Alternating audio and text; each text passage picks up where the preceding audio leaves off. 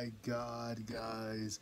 Jeff Hardy makes his debut in AEW, reuniting the Hardy Boys. Chris Jericho turns heel, actually ends, turns his back on the inner circle, turns heel in the inner circle, and actually forms a new faction that he calls the uh, Jericho's Appreciation Society. FTR kicks out. Uh, they actually fired Tully Blanchard as their manager. Of course, as I mentioned, Jeff Hardy and the Hardy Boys reunite after Matt Hardy gets voted out of F- of HFO. Man, what a show tonight! My God, we have a new TNT champion in Scorpio Sky defeating Samuel Sammy Guevara. What a show, guys! I I really wanted to touch on two things I wanted to say about Dynamite tonight, coming out of all um coming out of Revolution, and that's the fact that okay. So first, the Jericho situation. Let's just let's just cut that in the back. So you know Jericho comes out and man, did this really caught, you know, he had been kind of teasing that he was turning heel. He was kind of teasing a heel turn, even building up to his match with Eddie Kingston. You know, it seemed as though even when he, even when, uh, you know, it's when the, uh, when Santana Ortiz seemed like they were siding more with Eddie because Eddie was saying that he was holding him back. And, you know, when they had a, when they had a inner circle meeting, he had actually said that maybe he, maybe he brought the wrong, uh, members of the inner. Maybe he bought the wrong members of LAX to join the inner circle. Then he said, you know, do you have homicide and um, Hernandez numbers? Basically tried to say that he got the wrong members, and he was just kind of shutting them down uh, when they had their inner circle meeting.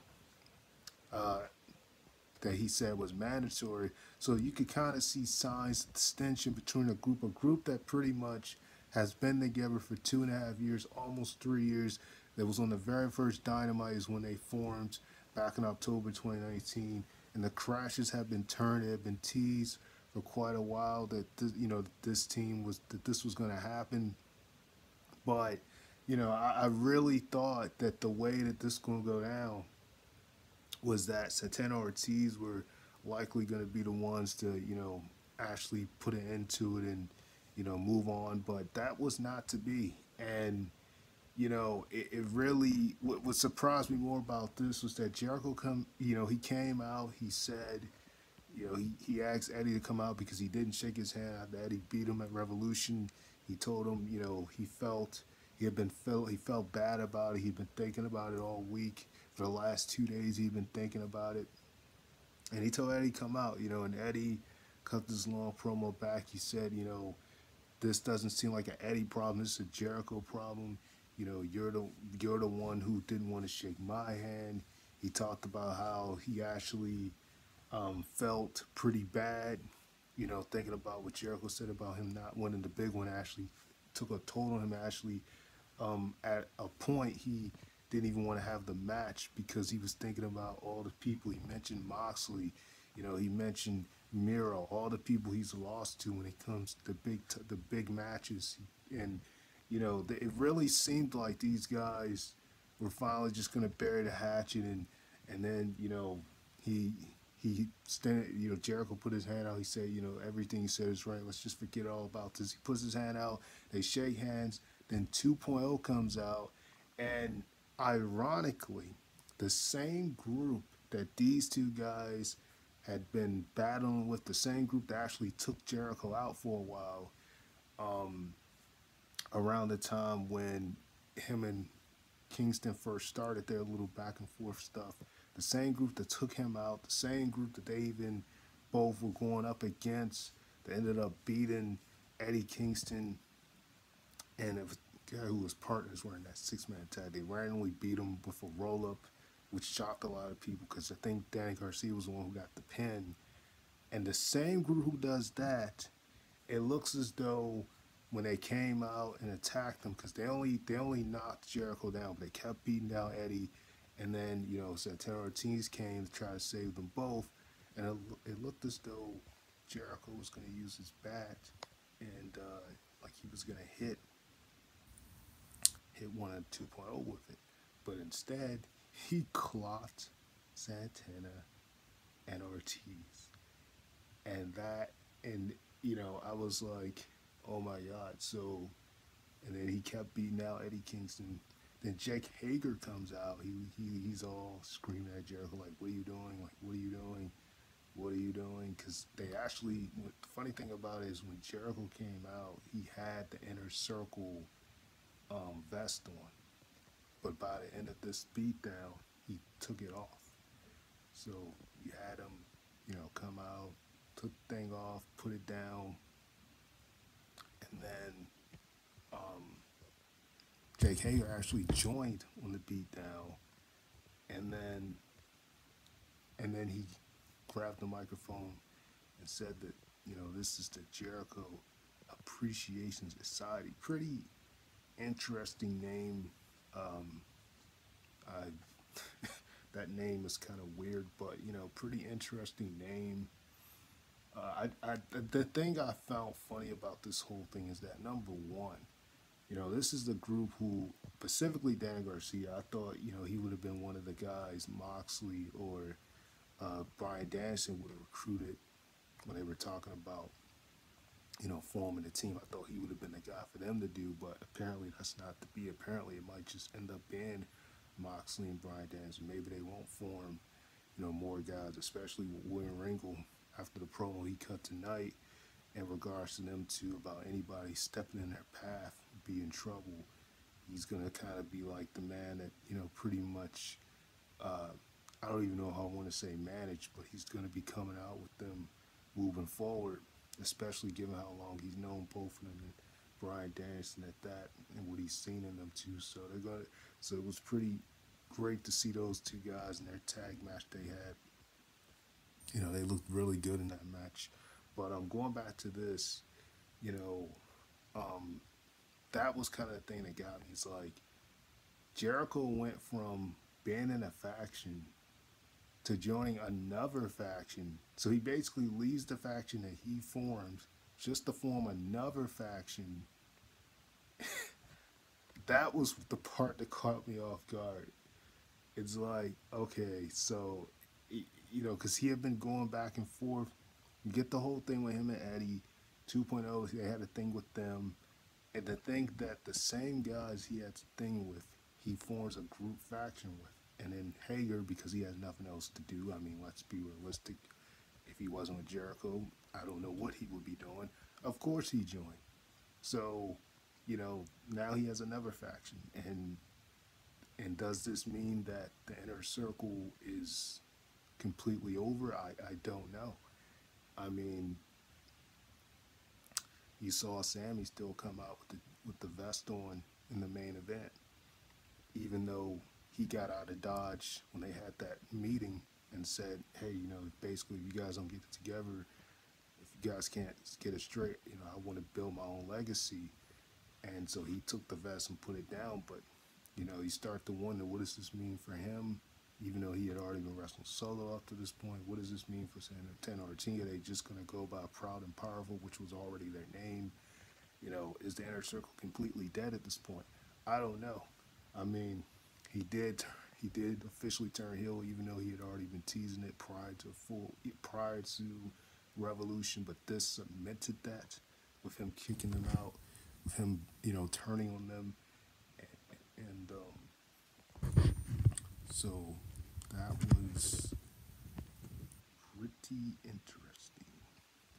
Um, and then from there,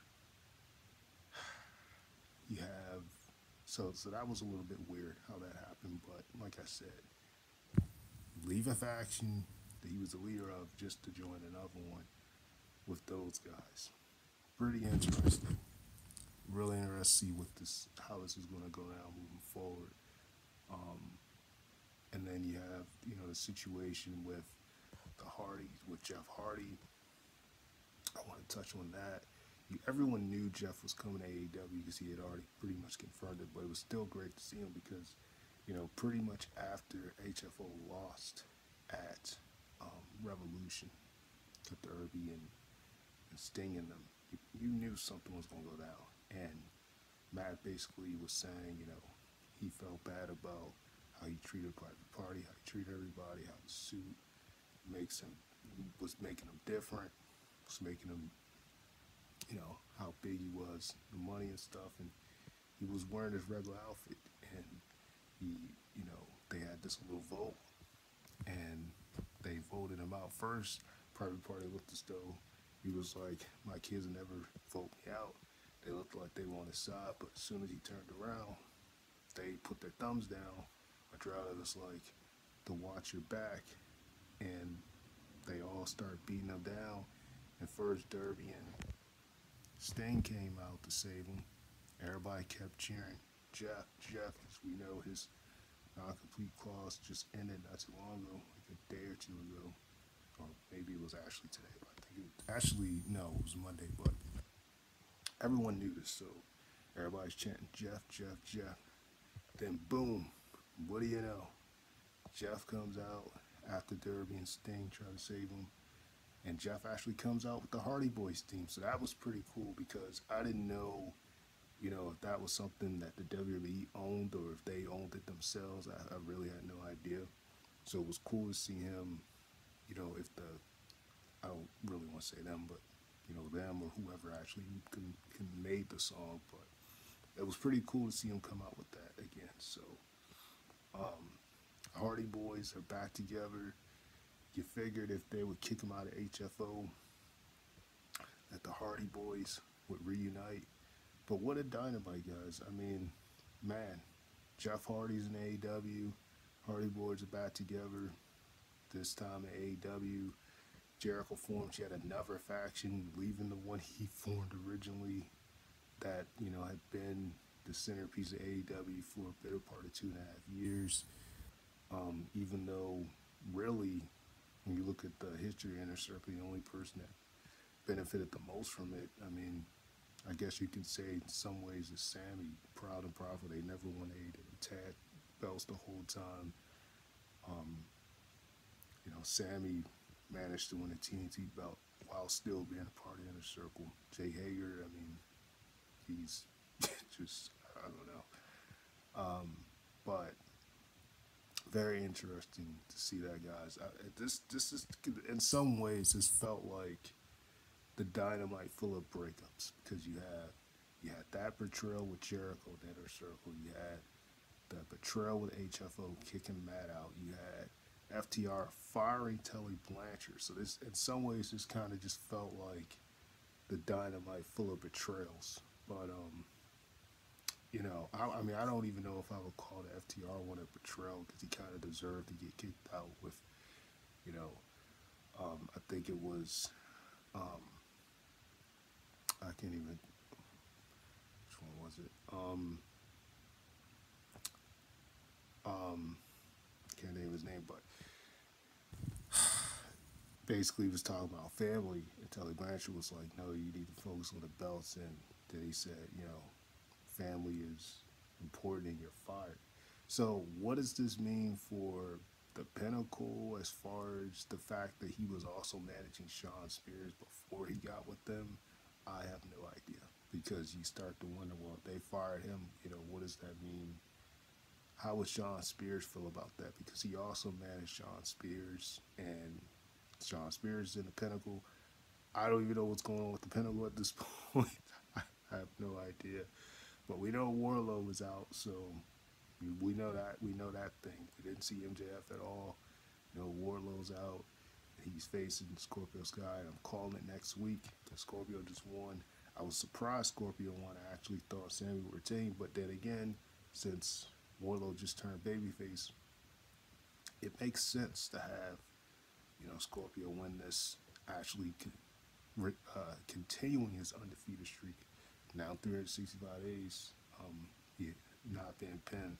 And it was pretty cool because, you know, the last time Scorpio had a uh, title shot at the TNT belt was actually last year around this time when he won um, the brass ring at Revolution last year. He faced Darby Allin and lost, and that was when he first turned heel. when he um, lost to Darby Allin last year for the belt. So now he finally wins it.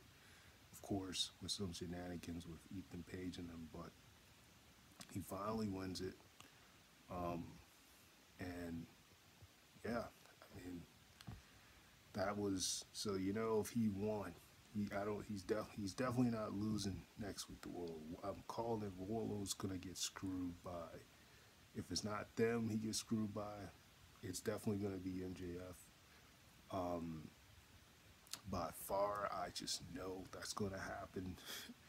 but um, yeah, man, this was definitely quite the dynamite. Moxley and Bryan Danielson form pretty heck of a team. Looking forward to these guys um, tearing the house down as a group after the match they had done at uh, Revolution. The ending was kind of weird, but you know the match itself was amazing. It's just the way they ended it with the pin kind of just came out of nowhere. But um, you know, William Regal set them straight.